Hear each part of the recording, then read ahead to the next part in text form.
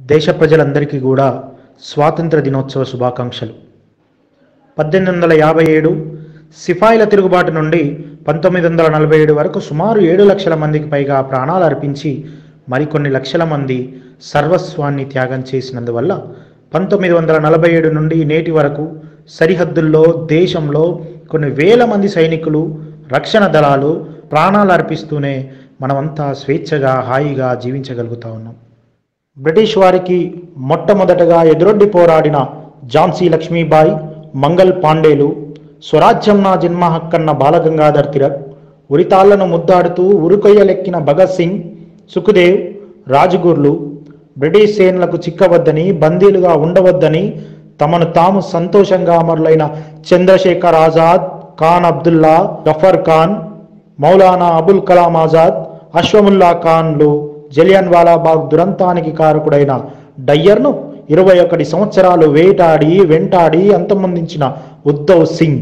యువతకు ఉద్యమ బాట పట్టడానికి కృషి చేసిన లాల్ బాల్ పాల్లు వందల తుపాకులు ఎక్కుపెట్టినా ఏమాత్రం చలించకుండా ప్రాణాలకు భయపడకుండా వందే మాత్రం అంటూ ప్రాణాలు దిన తెలుగు తేజం అల్లూరి సీతారామరాజు అహింస అనే ఆయుధంతో లక్షల మందిని మేల్కొల్పి ఉద్యమాన నడిపించిన మహాత్మా గాంధీ. వీరందరినీ మించి అత్యున్నత ఉద్యోగాన్ని గడ్డిపోచలా త్యజించి there is no day to die for India there is no right to live India అని కొన్ని వేల బ్రిటిష్ సామ్రాజ్యానికి సమాంతరంగా ఒక ఆజాద్ హిందూ ఫౌజ్ను స్థాపించి అప్రకటిత భారత స్వతంత్ర భారతానికి మొట్టమొదటి ప్రధానమంత్రి భారతదేశానికి మొట్టమొదటి ప్రధానమంత్రి ఎవరంటే ఒక ఆయన పేరు చెప్తారు. కానీ అప్రకటిత భారత స్వతంత్రానికి మొట్టమొదటి ప్రధానమంత్రి ఆజాద్ హిందూ ఫౌజ్ వ్యవస్థాపకులు శ్రీ నేతాజీ సుభాష్ చంద్రబోస్. ఇలాంటి వారందరూ జాతీయ భావన పెంపొందించి ఈ దేశ మాత సంఖ్యలను పెంచాలని వెయ్యి సంవత్సరాల బాణిజ్య జీవితాలకు స్వస్తి పలకాలని ఈ దేశ సంస్కృతిని ఔన్నత్యాన్ని మరి యువత ఎలా ఉండాలో ప్రపంచానికి చాటి చెప్పిన నరేంద్రుడు మనందరి స్వామి వివేకానందుడు ఇలాంటి వారెందరో చేసిన త్యాగ ఫలితమే ఈనాటి స్వేచ్ఛా భారతం. స్వాతంత్రం వచ్చినప్పటి నుండి కొంతకాలం క్రితం వరకు అగ్రరాజ్యాలు మన దేశానికి సరైన గుర్తింపు గౌరవం ఇవ్వలేదు. కానీ నేడు ఈ దేశ ప్రజలు గర్వించే స్థితిలో ఉన్నది.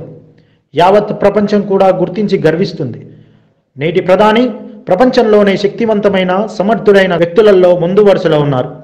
యావత్ దేశ యువత ప్రజల్లో నిద్రాణమై ఉన్న దేశభక్తిని మేల్కొల్పాడు.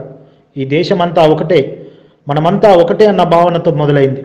తీవ్రవాదులు ఏర్పాటువాదులు అసహనవాదులు పలాయనం చిత్తగిస్తున్నారు. నేడు మనం ఏ త్యాగాలు చేయాల్సిన అవసరం లేదు. స్వాతంత్రానికి పూర్వం తదనంతరం దేశం కోసం ప్రాణాలు అర్పించినటువంటి అందరికీ మనం రుణపడి ఉండాలి. అలాగే మన తోటి వారికి నష్టం చేయకుండా ఉంటే చాలు. స్వదేశీ వస్తువులు వాడుదాం విదేశీ వస్తువులను విడనాడుదాం. ముఖ్యంగా చైనా దురాక్రమదారుల వల్ల చైనా సామ్రాజ్యవాదుల వల్ల తయారై వచ్చే వస్తువుల వాడవద్దనే గట్టి నిర్ణయాన్ని తీసుకుందాం. మన దేశాన్ని మన భారతాన్ని బలోపేతం చేద్దాం. అఖండ భారతాన్ని నిర్మించుకుందాం. మన భారతదేశం పూర్వ వైభవ స్థితికి రావాలని వస్తుందనే నమ్మకంతో ఆశతో ఓ భారతీయుడు. జై బోలో భారత్ మాతాకి జై. వందే మాతరం.